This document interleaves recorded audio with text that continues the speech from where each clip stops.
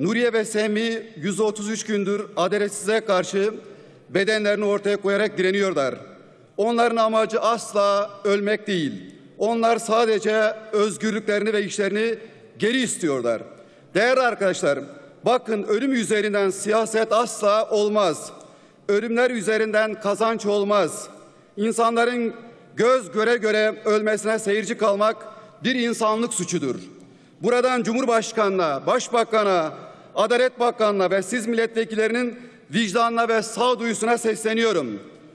Nuriye ve Semi hayatını kaybetmeden bu açlık grevinin sonlandırılması için acilen bir şeyler yapılmalıdır. Bize onların ne fotoğrafları ne de gülüşleri miras kalmasın. Onları yaşatalım ki vicdanlar yaşasın. Can çekişen adalet yaşasın. En önemlisi insanlık yaşasın. Değerli milletvekillerim, Türkiye giderek büyüyen bir demokrasi krizi içindedir. Hızla sonu belli olmayan karanlık bir geleceğe doğru sürükleniyoruz. Dört kez uzatılan o halle birlikte hukuk devleti tamamen ortadan kaldırıldı.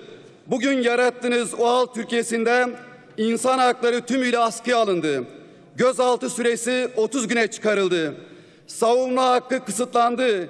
İşkence yaygınlaştı ve meşrulaştı. Adaletin terası tümden bozuldu.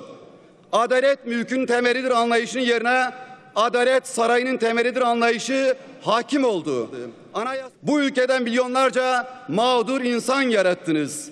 Değerli milletvekillerim, Cumhuriyetimizin kurucusu Mustafa Kemal Atatürk bundan 97 yıl önce bugünleri görerek şöyle diyor.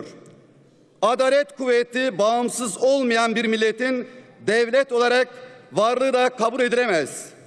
Evet, sizin darbe dönemini aratmayan adaletsiz uygulamalarınız yüzünden Burkina Faso dışında hiçbir ülke devlet olarak itibarımızı kabul etmiyor. Hak ve özgürlüklere koyulan yasaklar yüzünden uluslararası itibarımız yerlerde sürükleniyor. Ülkede adalet can çekişiyor. Kuvvetler ayrını yok ettiniz. Yargıyı tümden iktidara bağımlı duruma getirdiniz. Her şeyi tek adama teslim ettiniz. Ama unutmayınız ki ayarını bozduğunuz bu kantar bir gün gelir sizi de tartar. Bizim 450 kilometre yürüyerek aradığımız adalet bir gün sizlere mutlaka lazım olacaktır. Ama hiç kimsenin kuşkusu olmasın. Biz Cumhuriyet Halk Partisi olarak demokrasinin, layıklığın, barışın ve kardeşliğin hüküm sürdüğü bir Türkiye için mücadele etmeye sonuna kadar devam edeceğiz.